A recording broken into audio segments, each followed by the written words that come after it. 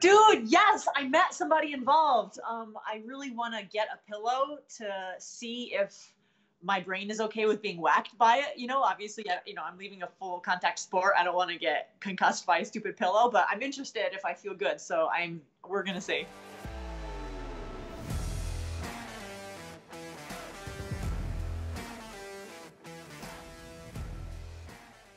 Well, I'm kind of saddened that this will be your last interview as a fighter, you know, but I'm happy for you at the same time, you know, like at least you know when you want to hang up the gloves, you know. Some some fighters it's just I guess you see it a lot, right? Roxy that they hang on a little too long and uh, Yeah. and then the, kind of like the fans turn on them. Have you noticed that a little bit with some Oh, fighters? You're right. Yeah, you're right. Like a lot of fans are like, "Ooh, I don't want to see them fight anymore" because they love them, or you know, exactly what you said. So yeah, I guess that's a it's a, a good point. You know, I I can sense.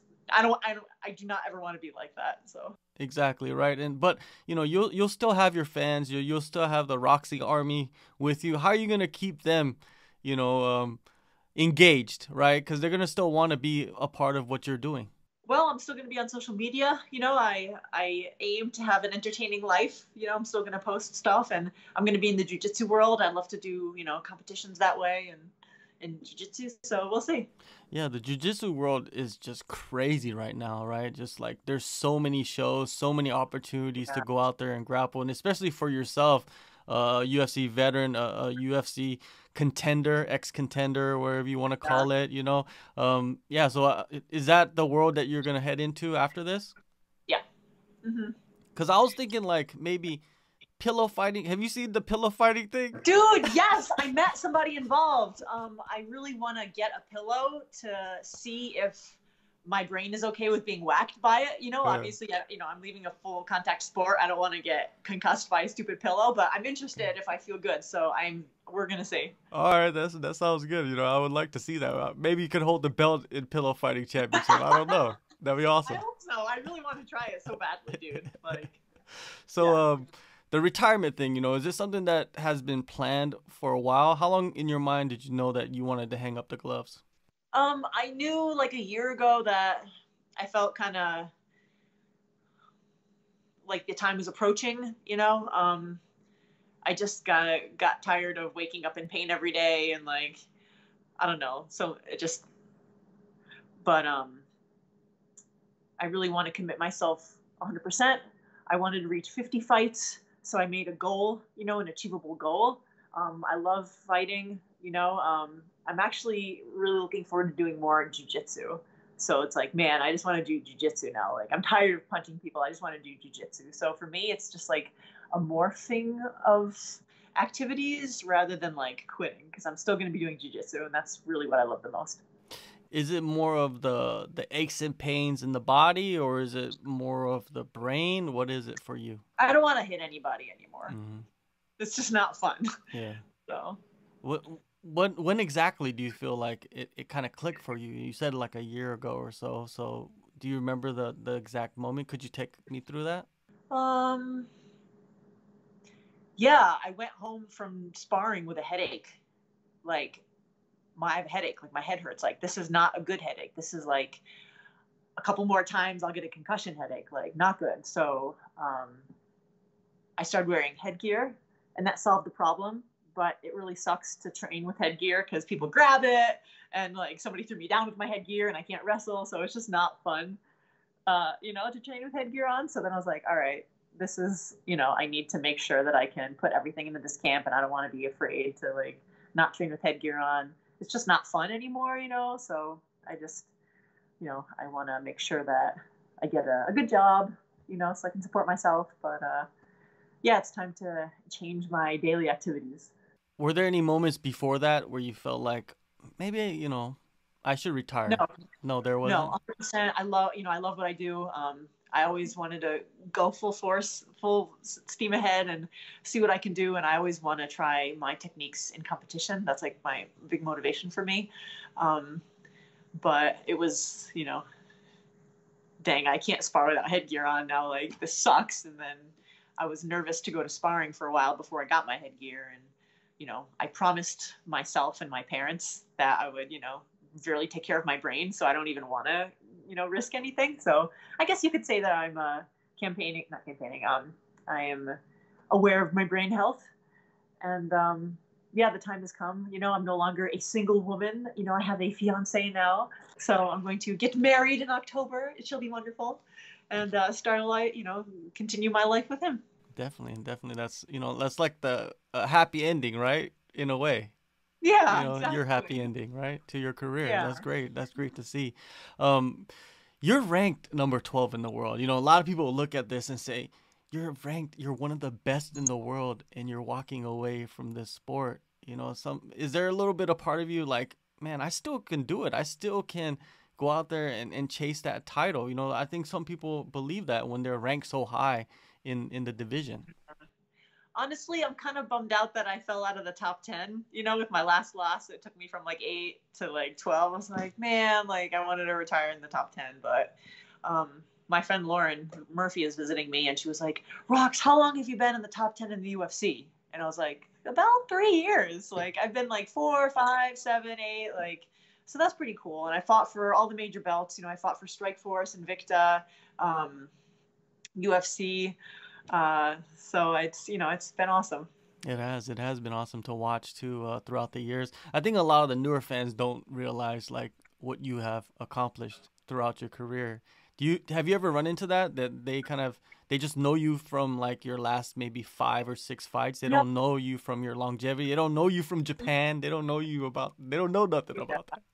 Of course, I have those you know those fans who say I suck, and yeah, I mean I guess if you compare me to Joanna Jędrzejczyk striking, I suck. but you know I've, I've done a lot, so it's you know it's been a journey. Yeah, you could look back and kind of sit back and, and reminisce and, and be proud of what you have done, right? Like, I think some fighters, you see it nowadays, they get into the UFC too fast. They don't really get much experience and they maybe fight once or twice in the apex and then they get cut. It's like, that's not a very good journey to be on. Your journey has been very fruitful and rewarding. Yeah, thank you. Your fight, you know, you still have one left, right? Against Casey O'Neill. Uh, they're they're kind of I don't know. It's it's it's a fight where you're ranked. She's just got into the rankings, right? So, in your view, what do you look at? How do you look at this matchup? She reminds me of myself a little bit with her aggressive style, just charge straight ahead, try to take them down, ground and pound. Like I love that.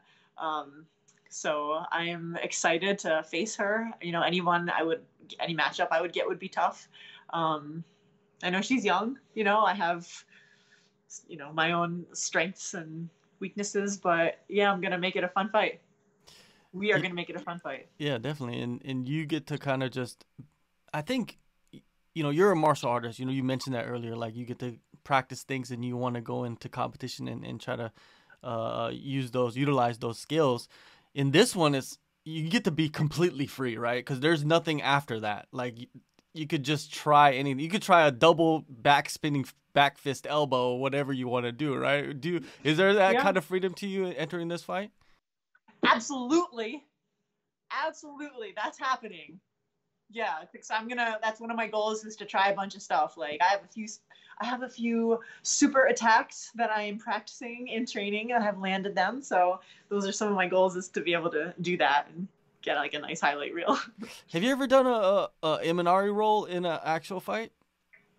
I'm not telling you. Okay, okay, okay. I'm just you know like Imanari rolls is one of those moves that most fighters have never tried in an actual fight. You know. My and- boyfriend's really good at those. Oh, is it okay? Maybe that's a hit. I don't know, but uh, we'll see. We'll see. Um, now, um, you know, there's a lot of fighters that are coming up, and they seem to start younger and younger in this sport. What is some of the advice? You know, what are some of the key advice you could give them? You know, from your years of experience coming up in this sport. Man, um I would say you don't have to be 100% well-rounded, you know? Um I I kind of wish that I had spent a little more time on jujitsu. Um for example, Jillian Anderson goes and like submits everybody, you know? Um I I've been spending a lot of time on strength and conditioning and striking because those were my weaker points. Um, I grew slower in them than I would have my jujitsu and wrestling. Um, in hindsight, you know, I wish I had split my, split my time a little differently, but I would say do more of what you love because you're going to grow faster at it. That's what I would say to them. It seems like you do work with with uh, kids, right? So you know you get to interact with them every day, and and from when you started to now, like watching like the next generation come up, is it amazing to you like the level of talent there is, like how how good they are at such a young age? Because I'm ex- like my mind is blown sometimes watching these kids, especially in jujitsu. Yeah, yeah, one of my students has an amazing open guard. Like I watched two of my students fight each other, and like he could not pass her open guard. Her hips movements were just so good. Like, but you know, then we get those people who are gonna, you know, be the the young ones getting into the UFC at like 20 years old, you know, because they've been training for so long and they're legit. So that's pretty cool. Exactly, it blows my mind. So in this fight, you know, you said you're gonna be free, and you know, what is the perfect ending to this fight for you? Like if a knockout. a knockout is the perfect yeah. ending. I don't have a knockout on my record yet. I would like that. Um, but you know, I'm not gonna hunt for it. You know, I'm gonna just do what I can do to win the fight and have a fun fight. Maybe like a like a, a Mark Hunt style walk off knockout, like one of those. You know, just like strolling. You know, take it like yeah. slow motion. Yeah. Yeah, that would be. That I'm would not be a nice. power fighter though, but we'll see. yeah, working. you never know. Perfect shot. You know, anything could happen. Um, yeah. A few more questions before I let you go. Uh, MMA fans, you've been dealing with MMA fans for a long time. What do fans obsess about too much that fighters really don't care about? Oh, I know. Um, everyone always asks me if I think my opponent is going to underestimate me because I'm so nice. Or, oh, I bet your opponent doesn't, she's not ready for you. Like she just thinks you're whatever because you're so nice.